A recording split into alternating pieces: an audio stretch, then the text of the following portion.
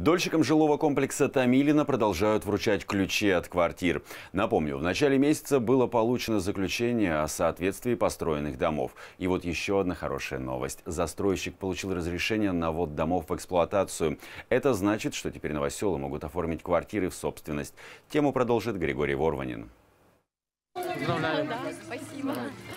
Мучительное ожидание завершения строительства позади, говорит Елена Хорева. Признается, уже и не надеялась получить ключи от своей квартиры до Нового года. Но накануне девушка увидела сон, который, как выяснилось, оказался вещим.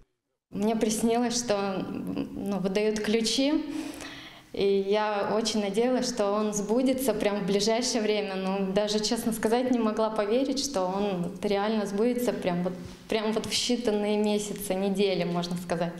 Я до последнего не верила. Первой в новой квартире Елены поселилась герань. Это давняя семейная традиция. Цветок символизирует домашний уют. Следующим этапом будет установка дверей и покупка мебели. Параллельно будет оформлять квартиру в собственность. Застройщик получил разрешение на ввод домов в эксплуатацию.